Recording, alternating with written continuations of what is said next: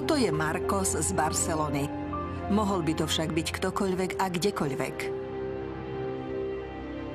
To, čo sa mu stane, sa stáva každodenne v kanceláriách a domácnostiach všade na svete.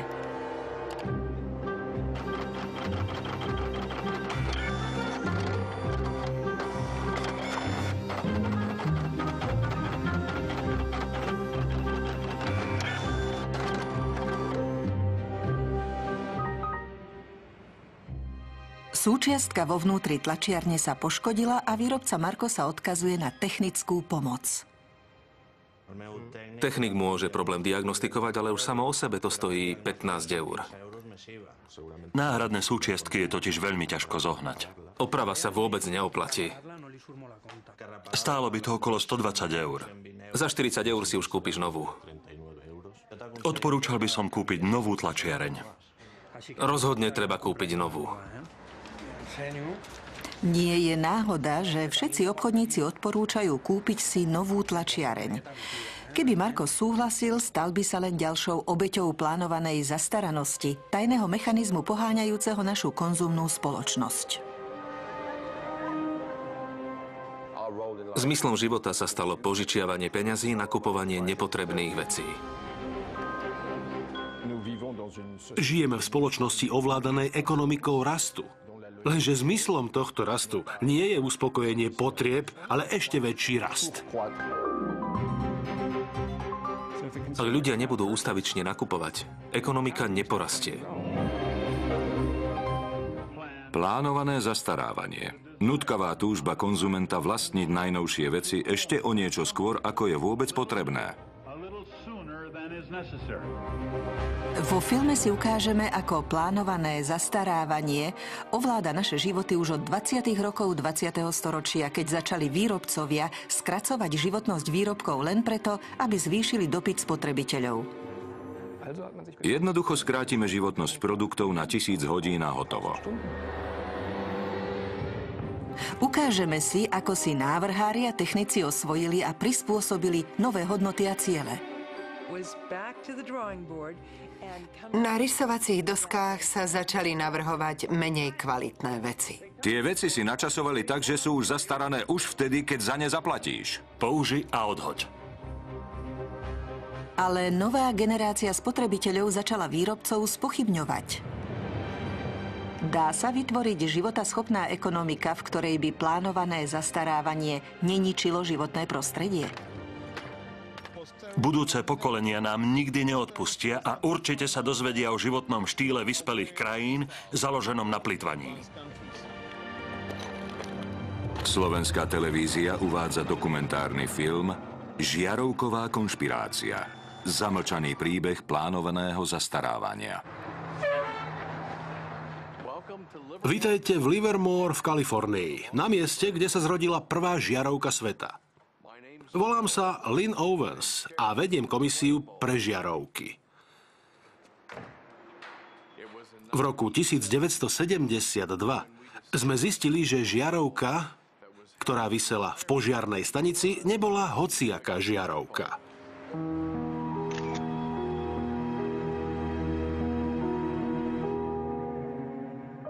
Žiarovka v požiarnej stanici v Livermore svieti nepretržite od roku 1901. Je len príznačné a ironické, že už prežila aj dve webové kamery.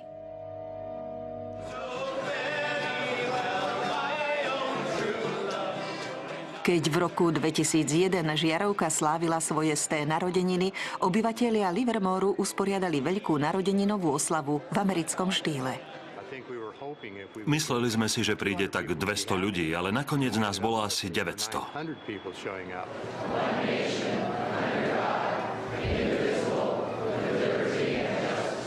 Asi by vám nenapadlo želať všetko najlepšie k narodeninám práve žiarovke.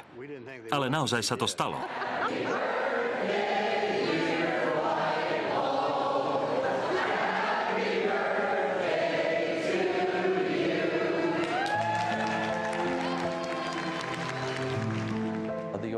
Základ žiarovky vznikol v mestečku Shelby v štáte Ohio okolo roku 1895.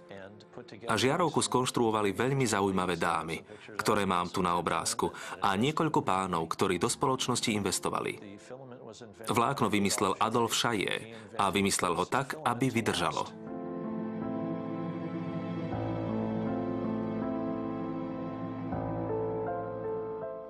Ako je to možné? Neviem. Toto tajomstvo si so sebou zobral do hrobu.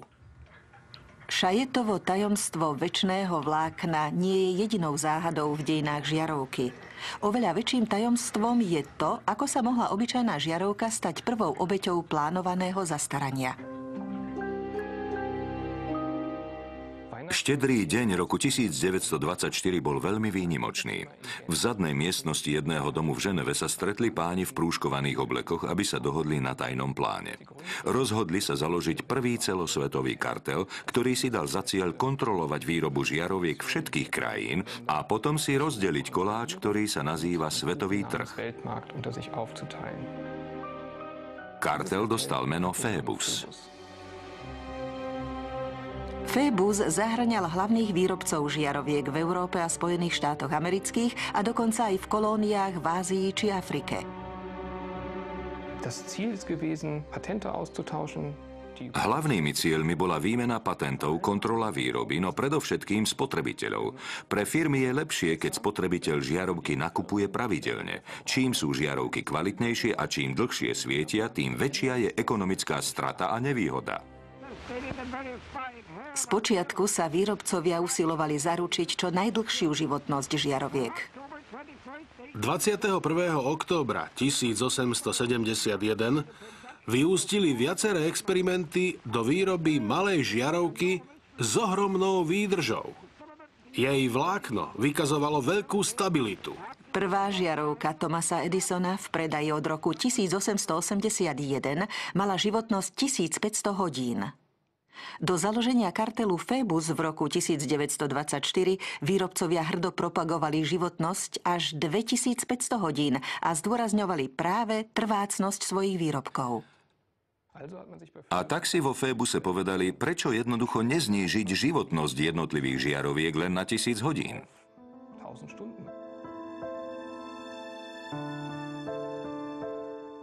V roku 1925 bol za tým účelom zriadený tzv. Výbor pre tisíc-hodinovú životnosť, ktorý si vytýčil cieľ znížiť po technickej stránke životnosť žiaroviek na stanovený limit. O viac ako 80 rokov odhalil berlínsky historik Helmut Höge dôkazy o činnosti tohto výboru ukryté v interných dokumentoch zakladajúcich členov kartelu. Napríklad holandskej spoločnosti Philips, nemeckej firmy Osram alebo francúzskej Compagnie de l'Homme. V tomto dokumente kartelu sa uvádza Priemerná životnosť lámp verejného osvetlenia nesmie byť zaručená, použitá alebo ponúknutá v inej hodnote, ako je životnosť tisíc hodín. Pod nátlakom kartelu začali členovia spoločnosti pracovať na návrhoch menej odolnej žiarovky, ktorá by vyhovovala novému pravidlu tisícich hodín.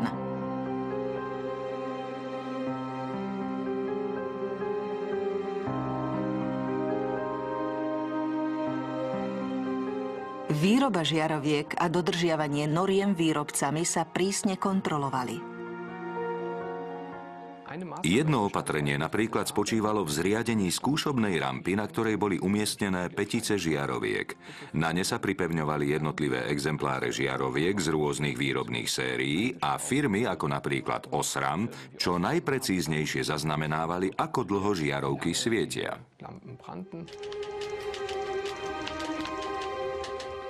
Kartel Phoebus svoje pravidlá presadzoval aj prostredníctvom prepracovaného byrokratického aparátu. Ak boli každomesačné výkazy mimo normy, pristupovalo sa k prísnym pokutám. Toto je pokutová tabuľka z roku 1929, ktorá zaznamenáva, koľko švajčiarských frankov musia členovia kartelu zaplatiť ako pokutu ak žiarovky svietia dlhšie ako napríklad 1500 hodín.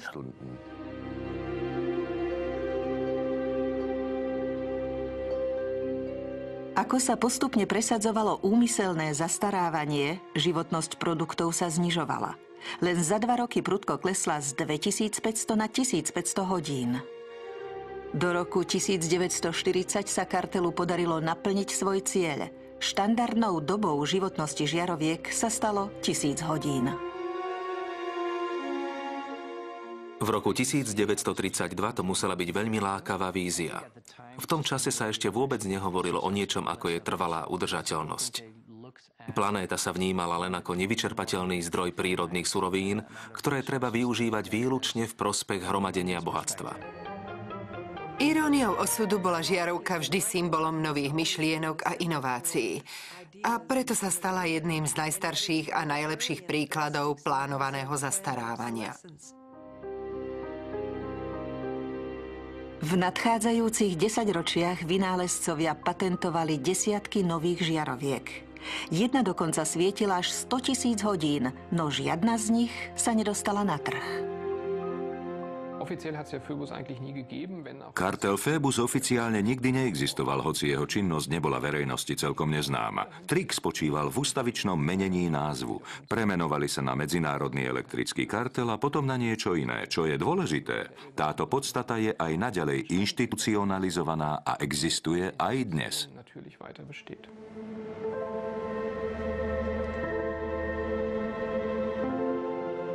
V Barcelone sa Marcos rozhodol neposlúchnuť rady obchodníkov kúpiť si novú tlačiareň. Chcel si ju opraviť na vlastnú pesť a na internete našiel človeka, ktorý dokázal presne určiť technickú chybu. Je to malé špinavé tajomstvo atramentových tlačiarní. Chcel som si niečo vytlačiť a tlačiareň mi oznámila, že potrebuje vymeniť niektoré súčiastky. Tak som sa teda rozhodol trošku sa v nej povrtať. Ahoj Markos, dostal som tvoju správu. Marcos sa s autorom videa spojil. Na dne tlačiarne sa nachádza zásobník vyplitvaného atramentu. Atramentové tlačiarne musia ustavične čistiť hlavy, čo sa vykonáva striekaním atramentu cez otvor v dolnej časti tlačiarne do tejto veľkej špongie. Čas, za ktorý istý počet kvapiek atramentu pretečie, je presne stanovený a potom prestane fungovať. Oficiálne zdôvodnenie znie, že ide o zabránenie vytekaniu atramentu na stôl. Obávam sa však, že podstata problému je inde. Technológia je jednoducho nastavená tak, aby sa prístroj pokazil.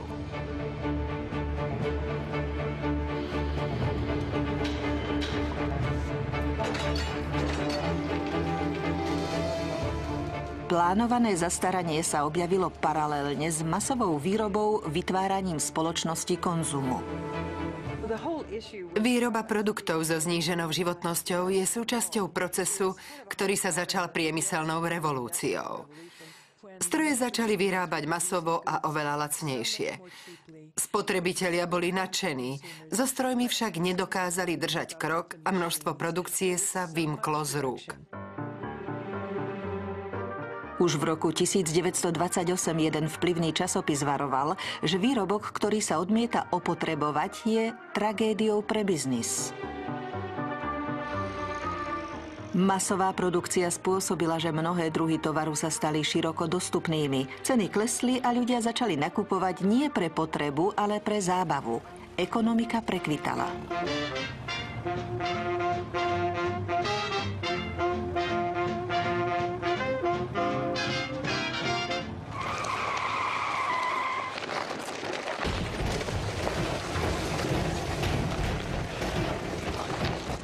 V roku 1929 utržil konzumný svet prvý šok, keď zrútenie burzy na Wall Street uvrhlo Spojené štáty americké do hlbokej krízy.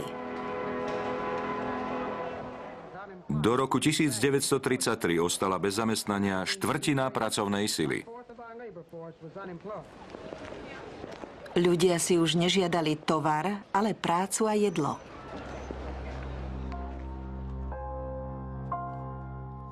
A potom prišiel z New Yorku radikálny návrh, ako opäť naštartovať zrútené hospodárstvo. Prominentný burzový maklér Bernard London navrhol ukončiť krízu právnym uzákonením povinnej politiky plánovaného zastarávania. Poprvýkrát sa tento koncept dostal na papier. Podľa Londonovho návrhu bude výrobok funkčný len počas záručnej lehoty a po jej uplynutí sa bude považovať za právne neexistujúci. Spotrebiteľ ho následne odovzdá vládnej organizácii, ktorá ho znehodnotí. Usiloval sa nájsť rovnováhu medzi kapitálom a prácou, tak aby pre nový tovar vždy existoval odbyt. Aby bol stále dopyt po práci a aby z toho zároveň profitoval kapitál. Bernard London veril, že povinným plánovaným zastarávaním sa budú kolieska priemyslu aj naďalej točiť, ľudia budú donekonečna konzumovať a všetci budú mať prácu. Giles Slade prišiel do New Yorku, aby o autorovi myšlienky zistil viac. Chce zistiť, či Bernard London presadzoval plánované zastarávanie len kvôli zisku, alebo či chcel naozaj predovšetkým pomôcť nezamestnaným. Toto je Dorotea Weiznerová. Pamätá si na stretnutie s Bernardom Londonom z rodinnej vychádzky z 30. rokov. Nehovorte mi, ktorý to je, ale je to zaujímavé. Áno, vyzerá naozaj veľmi intelektuálne. Stretli ste sa s ním v roku 1933. Mala som asi 16, 17 rokov. Moji rodičia vtedy vlastnili Cadillac veľký ako vzducholoď.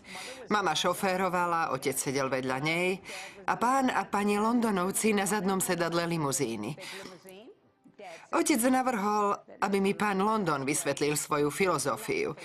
Bol to veľmi zaujímavý človek. V krátkosti mi povedal, že je to jeho návrh, ako zastaviť krízu. Boli sme vtedy v hospodárskom úpadku, dokonca väčšom ako dnes. Bol tou myšlienkou posadnutý podobne, ako dokáže byť maliar bytostne posadnutý svojim umením. V aute mi dokonca vyjavil obavy, že sa bojí, aby sa jeho myšlienka nevnímala ako priveľmi radikálna. Návrh Bernarda Londona napokon ostal bez povšimnutia. Zastarávanie sa ako právny záväzok nikdy neuviedlo do praxe. O 20 rokov neskôr, v 50. rokoch, sa myšlienka objavila znova, ale so zásadnou zmenou. Plánované zastarávanie nemalo byť spotrebiteľovi vnútené, ale sa ním mal nechať dobrovoľne zviesť.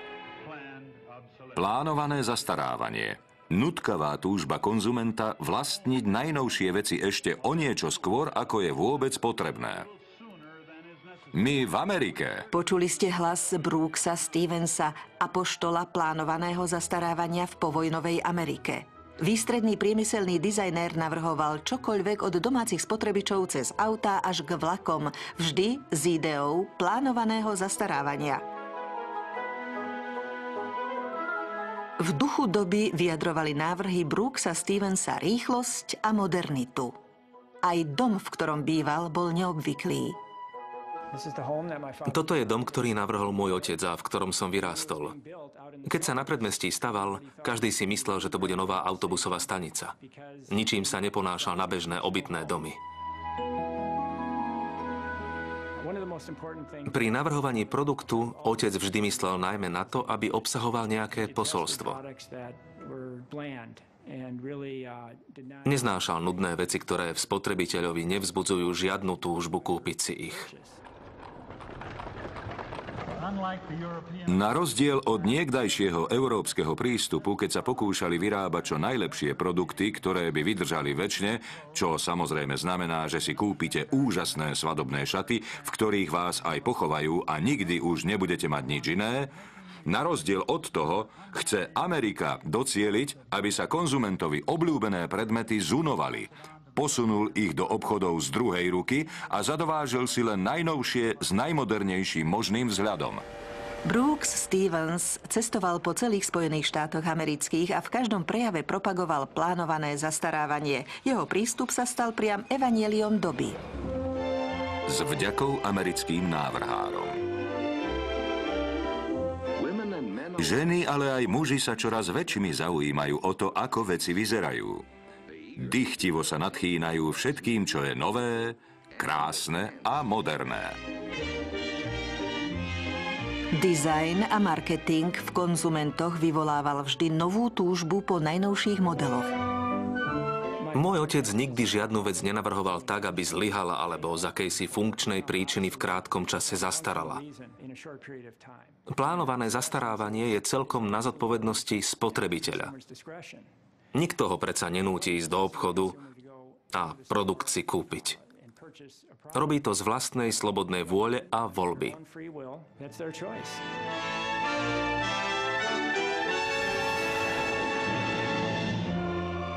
Sloboda a šťastie vďaka neobmedzenej spotrebe. Americký spôsob života v 50. rokoch sa stal základom konzumnej spoločnosti, ako ju poznáme dnes.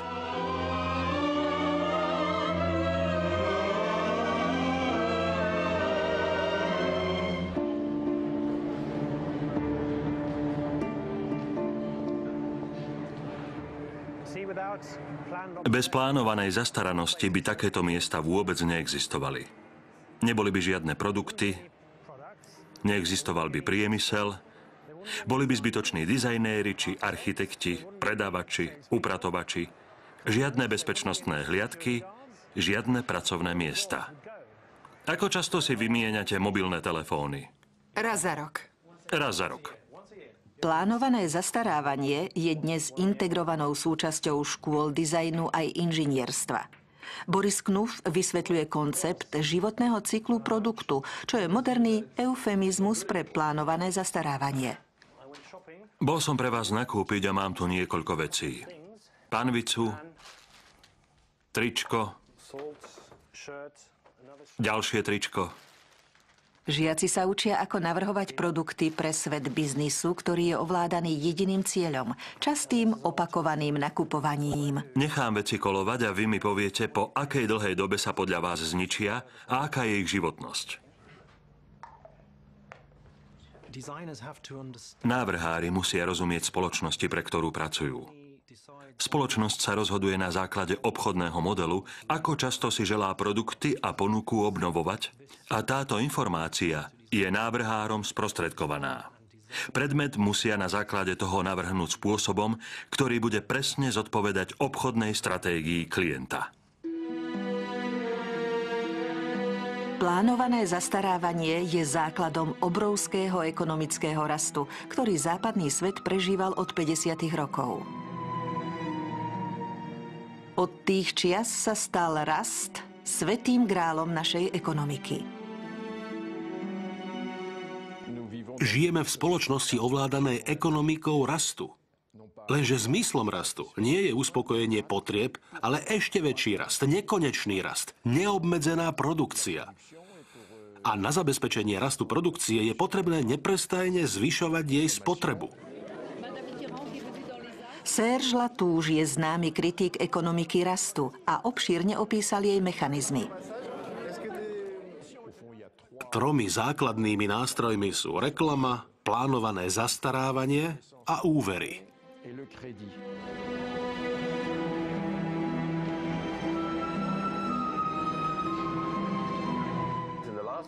V poslednej generácii sa zmyslom života stalo požičiavanie peňazí na nákup vecí, ktoré nepotrebujeme. To je postavené na hlavu. Kritici spoločnosti rastu upozorňujú, že je z dlhodobej perspektívy neudržateľná, nakoľko sa zakladá na očividných rozporoch. Ten, kto si myslí, že nekonečný rast sa dá zosúľadiť s konečnou planétou, je buď blázon, alebo ekonóm. Dráma tkvie v tom, že v dnešných časoch sme všetci ekonómovia. Prečo sa každé 3 minúty vyrobí niekde na svete nový produkt? Je to naozaj potrebné? Zdá sa mi, že veľa ľudí pochopilo potrebu zmeny takéhoto systému vo chvíli, keď im politici začali tvrdiť, že viac nakupovania môže najlepšie naštartovať krachujúcu ekonomiku. V spoločnosti rastu všetci sedíme v pretekárskom aute, ktoré už dávno nemá šoféra a ktorého koniec sa dá ľahko predvídať.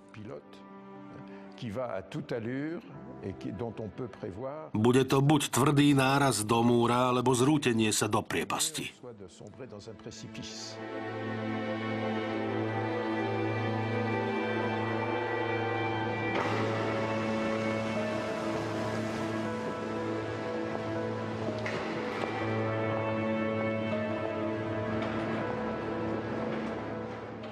Podrobnom prezeraní manuálov rôznych tlačiarní si Marcos uvedomil, že ich životnosť je stanovená výrobcami hneď od začiatku.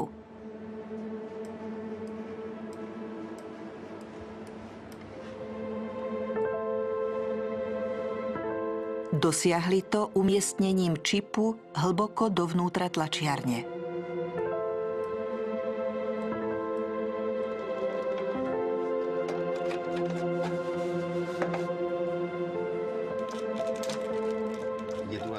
Našiel som čip, ktorý zaznamenáva počet vytlačených strán. A keď prekročí vopred stanovené množstvo, zablokuje tlačiareň, ktorá prestane fungovať.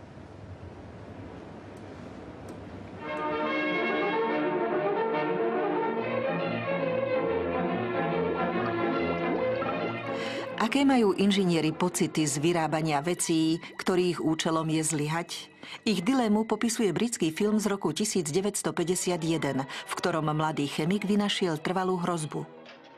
Je presvedčený, že sa zaslúžil o veľký pokrok.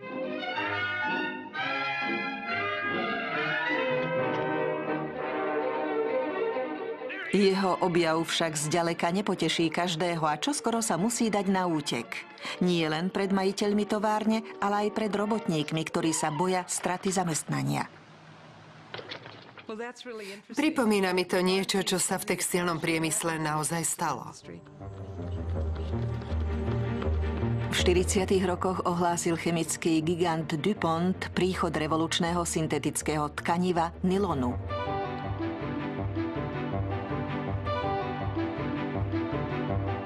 Dievčatá sa išli radosťou z nových trvanlivých pančúch zblázniť. Nadšenie však netrvalo dlho. Pred vojnou aj po vojne pracoval môj otec v spoločnosti DuPont na oddelení nylonu. A rozprával mi, ako ich skúšali pri výrobe pančúch. Muži mali pančuchy odniesť svojim manželkám či priateľkám, aby ich vyskúšali. Moja mama bola prvými nylonovými pančuchami nadšená, pretože boli naozaj pevné a odolné.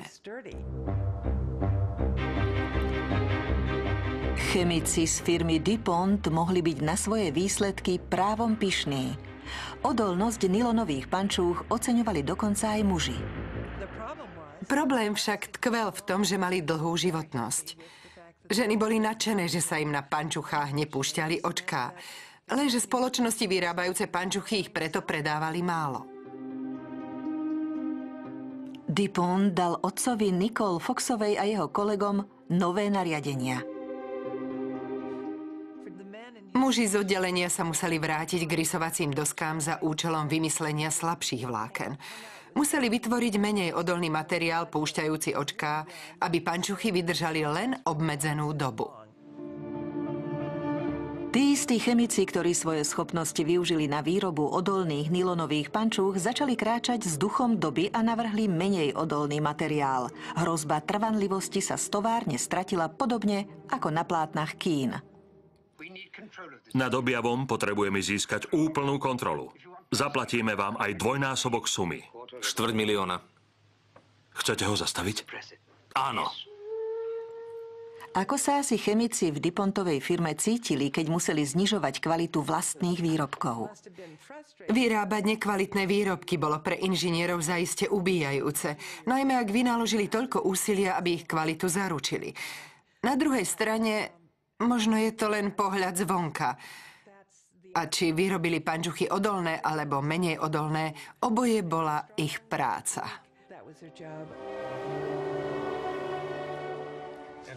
Inžinieri sa ocitli v zložitej etickej dileme. To, že museli čeliť plánovanému zastarávaniu, ich nutilo overovať najzákladnejšie etické zásady. Stará škola bola presvedčená, že by mali vyrábať kvalitné výrobky, ktoré vydržia čo najdlhšie a novú školu inžinierov ovplyvňoval trh, ktorým diktoval vyrábať veci na jedno použitie. Rozpor sa nakoniec skončil tým, keď prevládol prístup trhu a novej školy. Smrť obchodného cestujúceho. Plánované zastarávanie neovplyvnilo len inžinierov. Frustráciu bežných spotrebiteľov odzrkadľuje klasická hra dramatika Artura Millera. Tak ako jeho Willy Lomax, aj ostatní konzumenti boli odkázaní na bezmocné ponosy. Aspoň raz v živote by som chcel vlastniť niečo, čo sa nepokazí skôr ako to kúpim. Ten brak ma pripraví o život. Len čo splatím auto, môže ísť do šrotu. Chladnička. Požiera elektrínu ako maniak. Oni tie veci časujú. Keď ich konečne splatíš, môžeš ich rovno vyraziť. Spotrebitelia zväčša ani netušili, že na druhej strane železnej opony v krajinách východného bloku existovala ekonomika bez plánovaného zastarávania.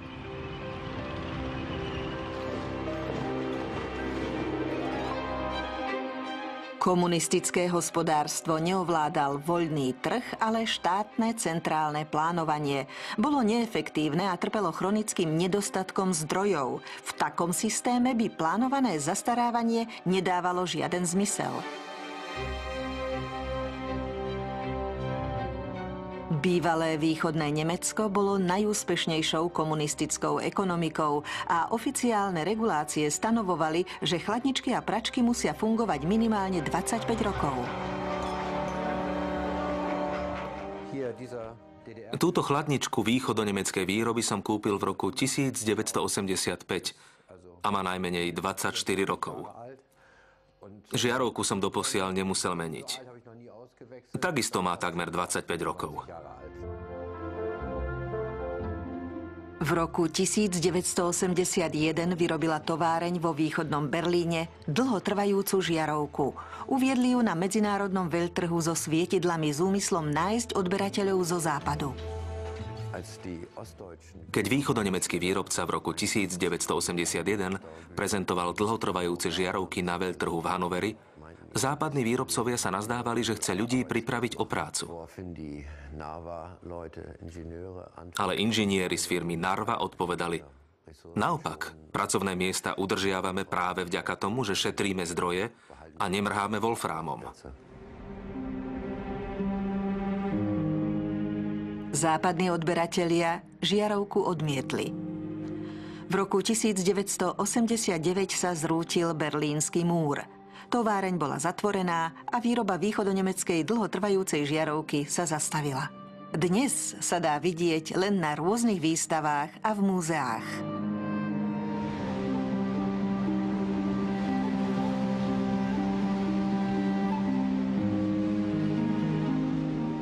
Po dvoch desaťročiach sa konzumný spôsob života vymkol spod kontroly na východe, rovnako ako na západe. No predsa nastala istá zmena. V ére internetu sa spotrebitelia rozhodli proti plánovanému zastarávaniu vzoprieť. Náš prvý film, ktorý mal ohlasy, bol film o iPodoch. Kúpil som si iPod za 400 či 500 dolárov a o 8 mesiacov, možno o rok, v ňom odišla baterka. Zavolal som do firmy Apple aby mi baterku vymenili, ale podľa ich vtedajšej politiky som si vraj mal kúpiť nový iPod. Môžete si kúpiť nový. Apple neponúka pre svoje výrobky nové batérie? Nie. Nehnevalo ma ani tak to, že odišla baterka. Keď mi odíde baterka v telefóne Nokia alebo aj v počítači Apple, stačí ju vymeniť. Ale v iPode, ktorého hardware je taký drahý, ju nestačí vymeniť, treba kúpiť nové zariadenie. Môj brat Van prišiel s nápadom natočiť o tom film. Chodili sme po meste a na každý reklamný plagát propagujúci iPod sme nasprejovali nápis Baterka iPodov vydrží len 18 mesiacov a nedá sa vymeniť. Video sme zavesili na našu stránku a už po prvom mesiaci mala návštevnosť okolo 6 miliónov. Ľudia sa po nej išli potrhať. Právnička zo San Francisca Elizabeth Pritzkerová sa o videu dopočula a spoločne so svojimi partnermi sa rozhodla firmu Apple žalovať za krátku životnosť batérií iPodov. Pol storočia od prípadu so žiarovkou sa plánované zastarávanie opäť dostalo pred súd. Súdny spor sme začali dva roky po uvedení iPodov na trh. V tom čase Apple len v Spojených štátoch predal okolo 3 miliónov iPodov. Mnohí z troch miliónov vlastníkov iPodov mali s batériami problémy a boli ochotní podať žalobu. Jedným z nich bol aj Andrew Westley. Spomedzi tých spotrebiteľov, ktorí sa nám ozvali, sme vybrali niekoľkých, ktorí sa stali zástupcami v právnej žalobe.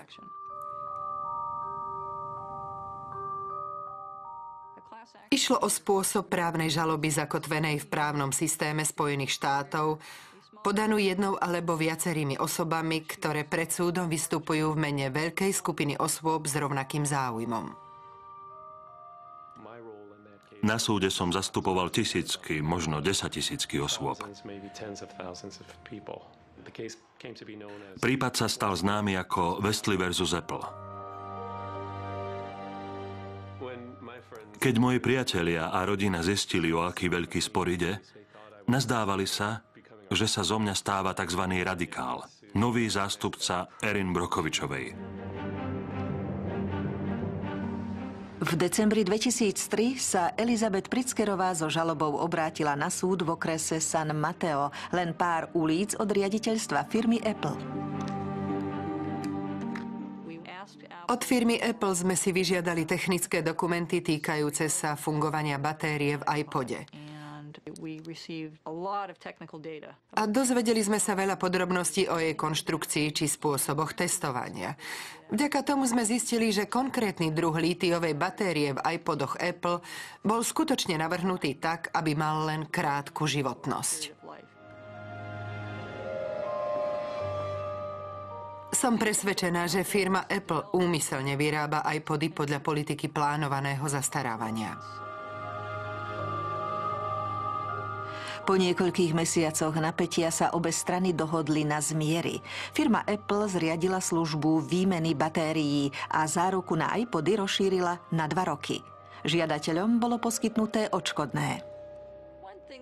Osobne ma veľmi znepokojuje najmä to, že Apple sa prezentuje ako mladistvá, progresívna, do budúcna hľadiaca spoločnosť, no pritom nedodržiavala environmentálnu politiku, ktorá by spotrebiteľom umožňovala produkty recyklovať alebo likvidovať adekvátnou cestou. To si skutočne protirečí s ich oficiálnym posolstvom.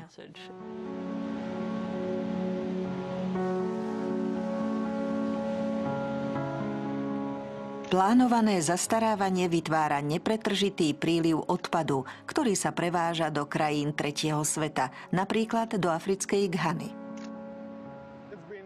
Do našej krajiny sa už 8 alebo 9 rokov dovážajú kontajnery s elektronickým odpadom.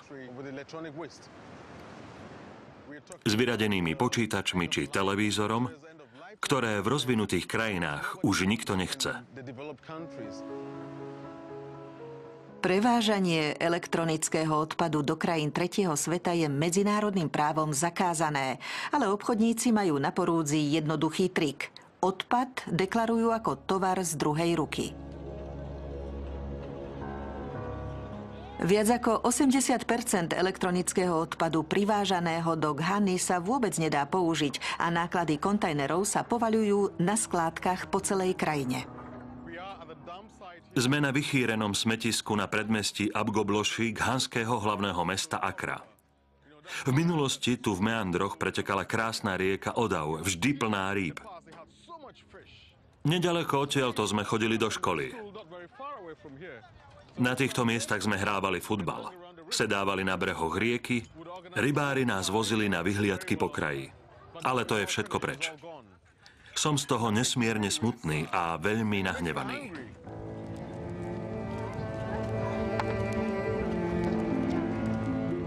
Dnes sa tu po škole žiadne deti nehrajú.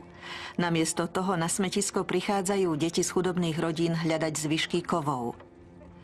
Spalujú plastický povrch drôtov z vyradených počítačov, aby zachránili kovové káble.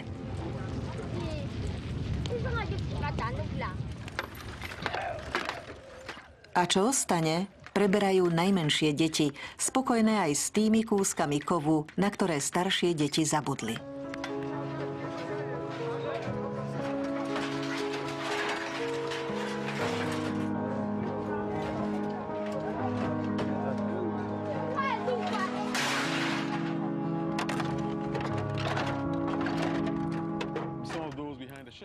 Z lodných zásielok tvrdia, my len chceme vyrovnať technologické rozdiely medzi Európou a Severnou Amerikou a medzi Ghanou a zvyškom Afriky. No pravda je taká, že tento odpad jednoducho nefunguje. Elektronický odpad nemá zmysel, ak sa s ním nedá nič robiť. Najmä, ak ste ho sám nevyrobili a vaša krajina sa zneužíva ako smetisko sveta.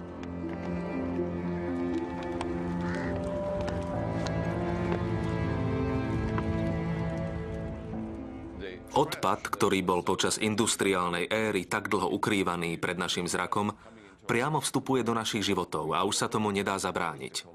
Hospodárstvo založené na plitvaní je na konci s dychom. Odpad už niet kam presunúť. Postupne sme si uvedomili, že naša planéta to nemôže znášať do nekonečna. Naše prírodné a energetické zdroje nie sú nevyčerpateľné. Budúce pokolenia nám nikdy neodpustia a určite sa dozvedia o životnom štýle vyspelých krajín založenom na plitvaní. Všade na svete ľudia začali proti plánovanému zastarávaniu bojovať. Mike Anane začal tam, kde sú koneční adresáti. Podstatné je mať dostatok informácií. Tu skladujem elektronický odpad označený štítkami výrobcu. Napríklad tu sa uvádza AMU centrum v západnom Sielande. Je to v Dánsku. Toto pochádza z Nemecka. Len nám to sem vysypali. Westminster College. A tu je Apple. Spoločnosť, ktorá sa všade prezentuje tak náramne ekologicky. A pritom nám sem vyváža svoj odpad. Vytvoril som si databázu so štítkami, kontaktnými adresami a telefónnymi číslami spoločností, z ktorých pochádza elektronický odpad vyvážaný na skládky v Ghane.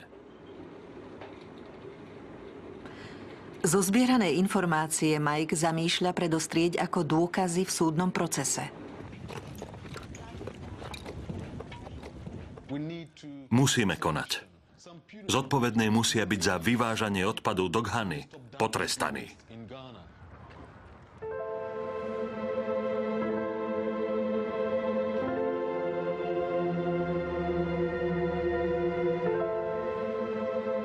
Marcos na internete pokračuje v hľadaní možností predlžovania životnosti svojej tlačiarne. Objavil ruskú stránku, ktorá zadarmo ponúka softvér so špeciálne vyvinutým čipom. Programátor dokonca otvorene vysvetľuje svoju osobnú motiváciu. Tlačiarne sa kazia, lebo sú nekvalitné. Nekvalitný model vyhovuje biznisu, nie však užívateľovi a životnému prostrediu. Môj softvér vychádza v ústrety spotrebiteľovi tým, že umožňuje vymeniť opotrebovanú atramentovú podložku. Markos nevie, čo si má myslieť, ale softvér si napriek tomu stiahne. John Takara bojuje proti plánovanému zastarávaniu z malej francúzskej dediny tým, že ľuďom pomáha nachádzať nové, alternatívne obchodné a dizajnové stratégie z celého sveta. Vo všetkých chudobných krajinách si ľudia celkom prirodzene veci opravujú sami. Názor, že vec je treba vyhodiť len preto, že sa na nej niečo pokazí, je pre ľudí z globálneho juhu nemysliteľné, neušľachtilé a vulgárne. Na tradíciu schopnosti veci šetriť a opravovať existuje v Indii dokonca veľmi zložitý pojem džugát.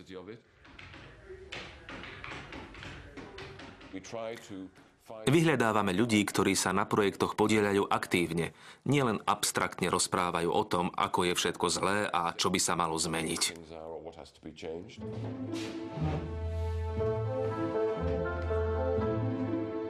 Jedným z tých ľudí je aj Warner Phillips, potomok slávnej dynastie výrobcov žiaroviek.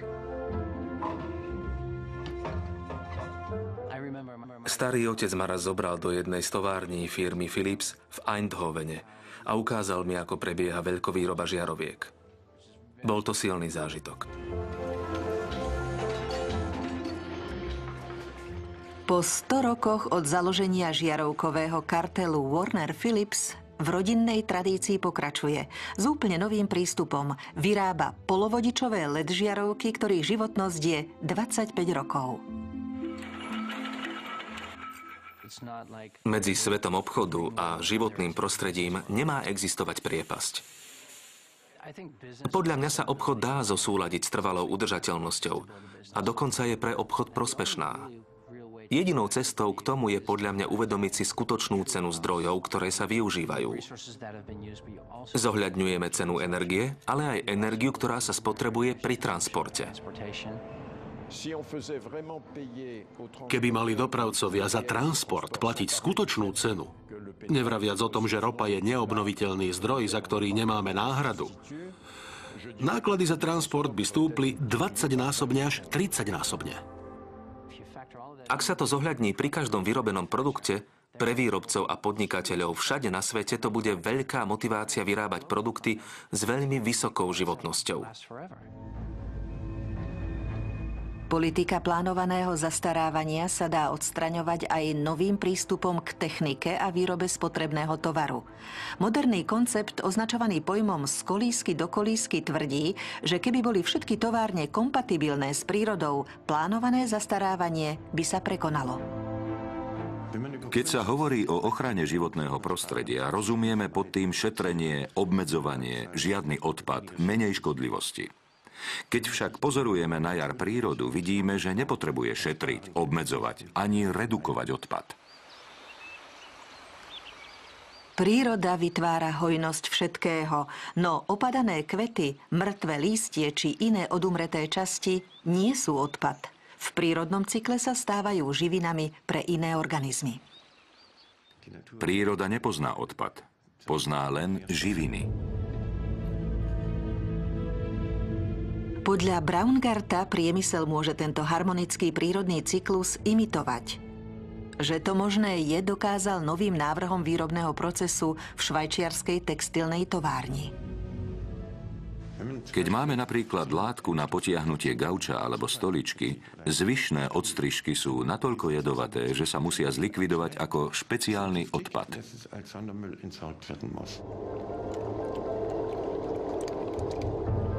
Michael Braungard zistil, že v továrni sa bežne používali stovky vysokotoxických farbív a chemikálií.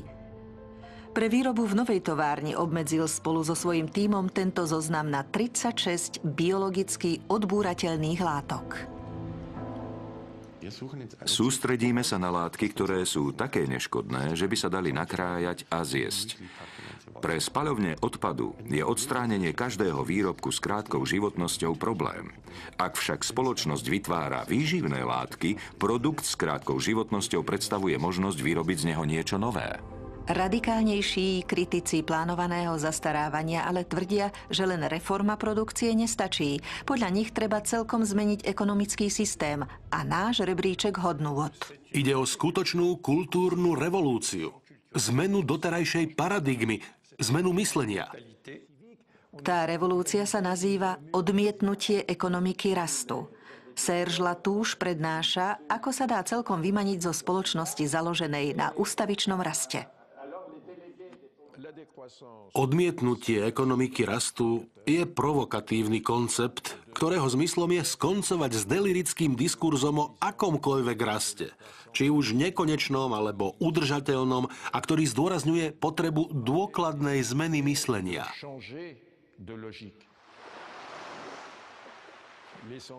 Podstata odmietnutia ekonomiky rastu sa dá vystihnúť slovesom znižovať. Znižovať vplyv na prírodu, znižovať plýtvanie, nadprodukciu, nadmernú spotrebu. Znižovaním spotreby, znižovaním produkcie sa vytvára voľný čas, vďaka ktorému sa dajú rozvíjať iné formy bohatstva. Ich výhodou je, že spotrebou sa nevyčerpávajú, podobne ako priateľstvo alebo poznanie. Naša spoločnosť chorobne lipne na veciach. Dávajú nám pocit sebavedomia a identity. Čiastočne je to v dôsledku zániku javov, ktoré v nás identitu vytvárali pôvodne. Napríklad prináležitosť k istej komunite, vzťah k pôde a iné sociálne väzby, ktoré konzumný spôsob života vytlačil. Keby šťastie záviselo od úrovne spotreby, mali by sme byť úplne šťastní. Spotrebujeme totiž 26 násobne viac ako v dobe Karla Marxa. A všetky prieskumy verejnej mienky ukazujú, že ľudia napriek tomu nie sú 26 násobne šťastnejší. Šťastie sa vždy dá merať len subjektívne. Kritici odmietania rastu sa obávajú, že to zničí moderné hospodárstvo a uvrhne nás to kamsi do doby kamennej. Návrat k udržateľnej spoločnosti, ktorej ekologická forma nepresahuje možnosti planéty, neznamená návrat do doby kamennej. V krajine ako je Francúzsko to znamená návrat do 60. rokov 20. storočia, čo skutočne nebola žiadna doba kamenná. Spoločnosť odmietajúca ekonomiku rastu uskutočňuje Gandhiho myšlienku, podľa ktorej je svet dostatočne veľký na to, aby uspokojil potreby všetkých, no vždy bude priveľmi malý na to, aby mohol uspokojiť nenásytnosť nemnohých.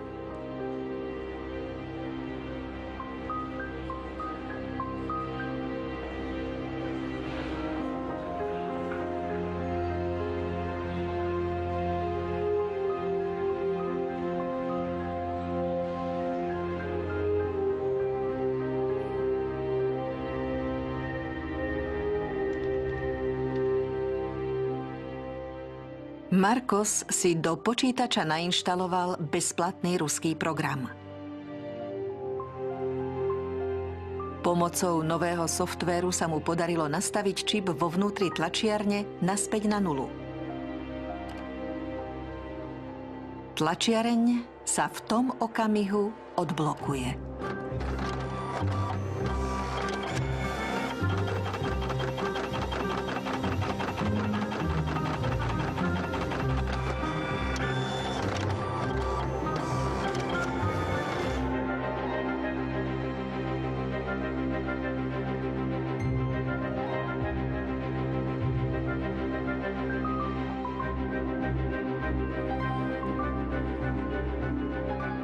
Slovenskom znení spolupracovali Peter Rúfus, Jana Bárdošová, Peter Kolárik, Jan Tréger, Ľubica Očková, Martin Vitek, Peter Heriban, Hanna Sokolíková, Silvia Rupeltová, Ružena Zindlerová, William Tokár a Ivan Paldia. Slovenské znenie vyrobila Slovenská televízia pre rozhlas a televíziu Slovenska 2013.